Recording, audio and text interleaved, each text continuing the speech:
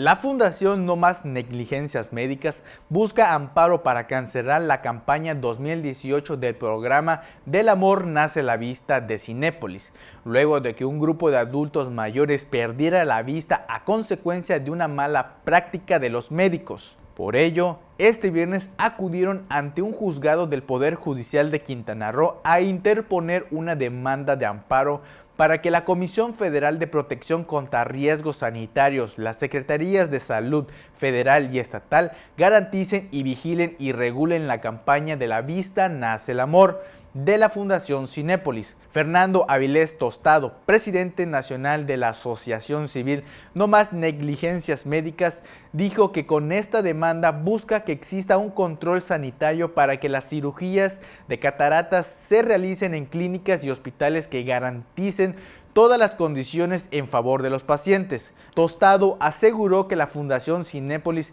ya anunció la campaña de su programa Del Amor Nace la Vista para este 2018, pero sin atender a las víctimas de estas malas prácticas médicas y por ello quieren que un juez la suspenda hasta garantizar el pleno respeto de los derechos de las personas afectadas y paralelamente se cuente con la garantía de supervisión, control, regulación del programa, así como en las clínicas donde se practica este tipo de cirugías.